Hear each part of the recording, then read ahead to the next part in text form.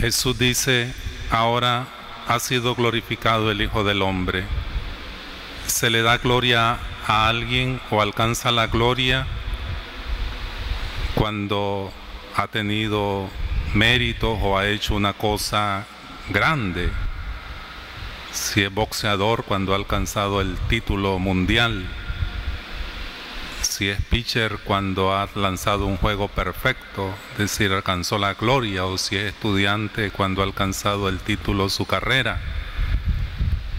O tiene un buen trabajo. El Hijo del Hombre ha sido glorificado, ha llegado al máximo. Y es que ha llegado a la cruz. Eso es la gloria, la glorificación del Hijo de Dios, del Hijo del Hombre. La cruz, es decir, el máximo del amor, donde ha podido dar su vida. Y hoy celebramos esa gloria de Dios que nos ha amado hasta el punto en la cruz de dar su vida por Dios y por nosotros, por amor. Y nos deja ese mandamiento nuevo, que nos amemos como Él nos ha amado en la cruz, los unos a los otros, como yo los he amado. Y en eso consiste precisamente lo nuevo, porque ya este, este mandamiento ya está desde el Antiguo Testamento, el, amar, el amarse. Pero es nuevo. ¿Por qué? La novedad. Porque es como Él nos ha amado. Es decir, dar la vida como Él la dio en la cruz. Amarnos hasta el extremo de dar su vida por nosotros. Y nos manda a eso el Señor hoy, a amar como Él nos ha amado, como Él ha dado su vida en la cruz por nosotros. No es fácil. En un mundo, en una sociedad donde hay personas con una maldad grandísima. En un mundo, en una sociedad donde hay personas que cometen toda clase de injusticias, toda clase de maldad, de cárceles, de muerte, de cosas malas. Y el Señor nos invita a amar a nosotros. Me parece que Cristo es glorificado por eso. Es glorificado porque Él vivió en un mundo también de injusticias. En un mundo donde el imperio romano reprimía al pueblo en un mundo donde lo llegan a crucificar a él, lo matan.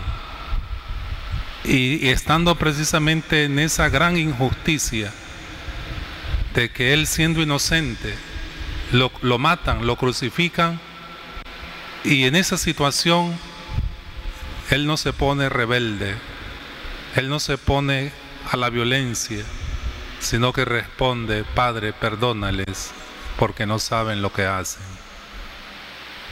Decir, esa es la gloria. Y a eso nos invita el Señor a nosotros, en medio de un mundo lleno de injusticias, de maldad. Nosotros estamos llamados a anunciar y a hacer presente ese amor salvador de Dios, porque aquí se nos muestra en la cruz la fuerza transformadora del amor de Dios. La resurrección es precisamente eso, el amor vence sobre el odio. El amor es más fuerte que la muerte. El amor es más fuerte que la injusticia. El amor ha vencido. Al resucitar, Él demuestra que el amor ha vencido, que la paz ha vencido a la guerra que el amor ha vencido a la injusticia, al pecado. En la cruz Él ha dado muerte al pecado. Ha vencido Jesucristo resucitando, ha vencido el amor. Y eso es lo que nos dice el Evangelio de hoy, que nunca va a vencer el mal sobre el amor, el mal sobre el bien, sino que el amor siempre va a vencer el amor siempre va a triunfar. Y por eso nos invita a nosotros a ser testigos de ese amor y a ser portadores de ese amor de Cristo resucitado en nuestras vidas para que no venza el mal, la injusticia en tu vida, en tu familia, en tu comunidad, en tu sociedad. Es una misión pues muy bonita, muy transformadora, muy importante, sobre todo en el mundo de hoy, en la sociedad de hoy, que quiere reinar la injusticia, el mal, la maldad, el pecado, la violencia. Nosotros estamos llamados a vivir este Evangelio, este mandamiento nuevo, de, de implantar el amor de Jesucristo, el amor de Dios, la salvación de Dios en nuestras vidas, en nuestras almas, en nuestra familia, en nuestra comunidad, en nuestra sociedad. En medio de este mundo, pues, lleno de injusticia, de maldad, de pecado, estamos llamados a ser testigos de la resurrección, a ser testigos de que Cristo ha vencido, que el amor ha vencido, a amarnos con este mandamiento nuevo, amar como Cristo, amarse los unos a los otros. Y ese va a ser el distintivo en eso reconocerán todos que ustedes son mis discípulos. ¿Cómo vamos a reconocer a un cristiano auténtico si ama de verdad, no de mentira? Si da la vida como Jesucristo. El amor produce vida, el odio produce muerte. ¿Y en qué vamos a reconocer que alguien es auténtico?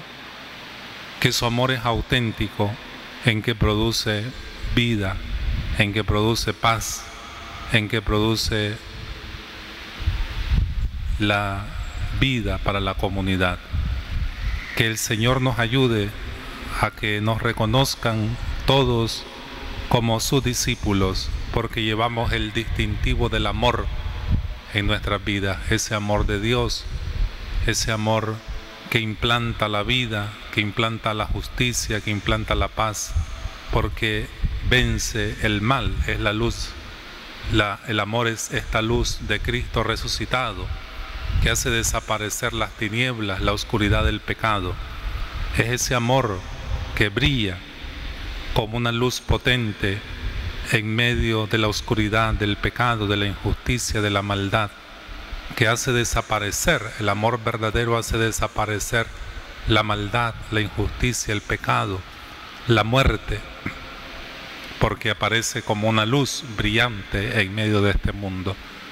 Y a eso estamos llamados nosotros, a eso nos llama el Señor, es algo serio, algo importante, algo difícil, pero en Cristo lo podemos.